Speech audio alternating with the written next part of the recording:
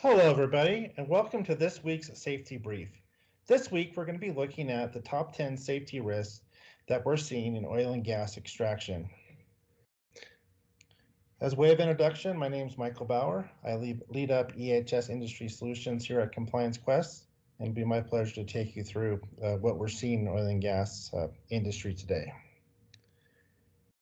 First of all, some overall some overall trends that we're seeing within the industry typical solution landscape that we're seeing in the oil and gas industry is in many places where we're uh, working with oil and gas customers, we're seeing many siloed systems rather than a unified EHS or QHSE system. We're still seeing a very heavy reliance on paper forms, manual entry, and spreadsheets. Um, we're seeing low uh, smartphone and tablet utilization we're seeing a long process to produce reporting for management and board review. Uh, typically, a couple people, that's really their full-time job just to roll up reports. And we're seeing a safety culture, heavy investment in safety, of course, but a safety culture that's enforced by rigorous manual process rather than automation and technology. And we're seeing continued challenges with delivering just in, just in time safe operating procedures and training. With that, I'm going to go ahead and go into a summary of a report that OSHA has come out with that details the top 10 oil and gas extraction safety risks. Number one, vehicle collisions. So wells are often located in remote areas requiring long distances to get to the sites. As a result, highway vehicle crashes are, are the, actually the leading cause of oil and gas extraction worker facilities. Roughly four in 10 workers killed on the job in oil and gas are killed as a result of a highway vehicle incident.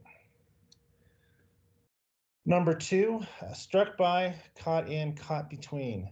So three out of five oil and gas extraction activities are caused by, struck by, caught in, or caught between hazards.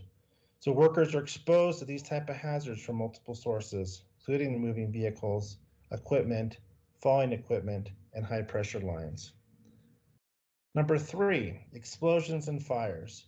So as you would imagine, workers in oil and gas industries face the risk of fires and explosion due to the ever-present um, risk of ignition of flammable, flammable vapors or gases.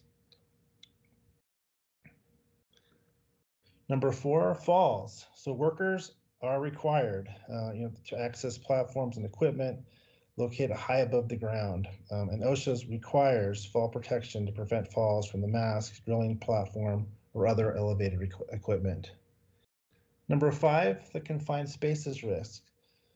So workers are often required to enter confined spaces such as petroleum or other storage tanks, the mud pits, reserve pits, and other ex excavated areas, sand storage containers, and other confined spaces around the, the wellhead. Safety hazards associated with confined space include ignition of the flammable vapors or gases. Okay, number six, ergonomic hazards.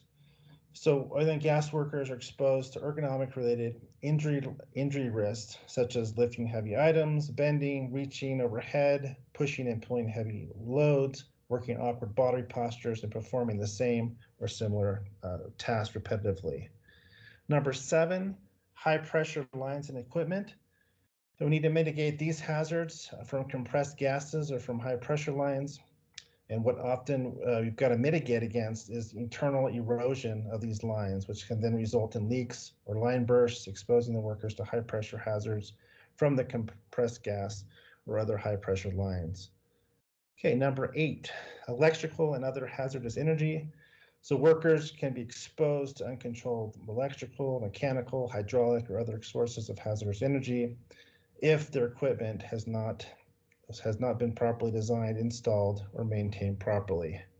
Number nine, chemical handling and exposure.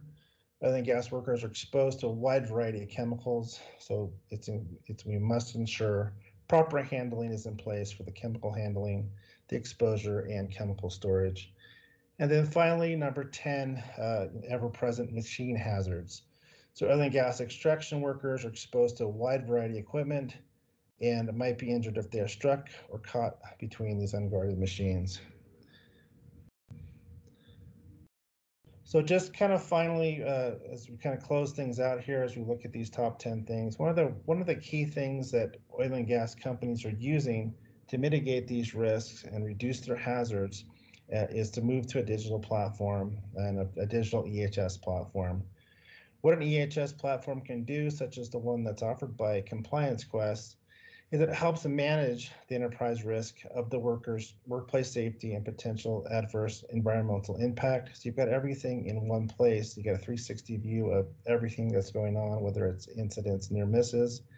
And now with this in place, you're able to reduce the likelihood of workplace injuries by proactively managing risk and implementing controls. So rather than just chasing after react being reactive, it allows you to get in front of some of these things a proper EHS platform now mitigate your compliance risks, uh, reducing your likelihood of fines and penalties, and negative potential PR events.